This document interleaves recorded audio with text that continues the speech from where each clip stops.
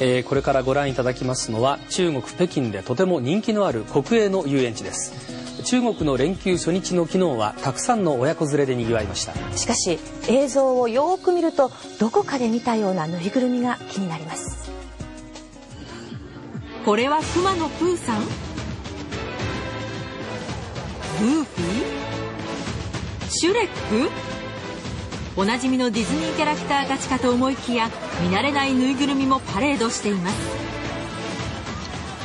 ここは北京市内の石景山遊園地というところなんですがその入り口にはディズニーに行くのは遠いので石景山遊園地に行こうと書かれています。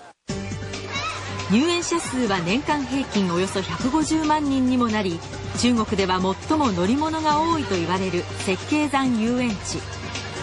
ミッキーマウスに似たグッズも含めキャラクターの使用許可を一切取らずに営業していますがれっきとした国営の遊園地なんです。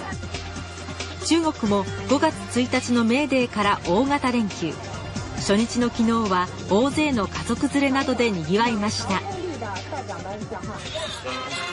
目玉イベントのパレードにはグーフィーに白雪姫と7人の小人。さらにはティガーなどおなじみのディズニーキャラクターにそっくりな着ぐるみが登場。今天看到了一些迪士尼的那个娃娃吗？看到了。看到哪个我跟那些小丑们全都照了一些相。さらに園内中央にはシンデレラ城のようなお城そして人気のあのアトラクションにそっくりな乗り物までそこでこの遊園地の社長を直撃对，跟迪士尼有关系吗？没有关系，是吗？没有关系。但我们是根据格林童话重新再创作。米老鼠什么的有吗？没有，没有是吗？我们是大耳猫，我们是猫，你听一下。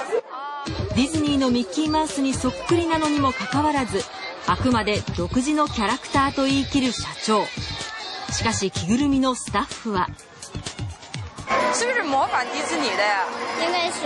应该是哈， 个，他们都是从那边有时语言那派人过去学习或者看着人家弄的。